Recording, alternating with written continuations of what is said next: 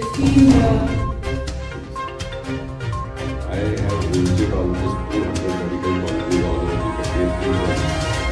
I have been doing that all my life. Sometimes as an examiner, sometimes you are not considered when you are in public life, you tend to underplay your profession. By the government of India, under the able leadership and may I at the outset take this opportunity to extend my heartfelt gratitude and a warm welcome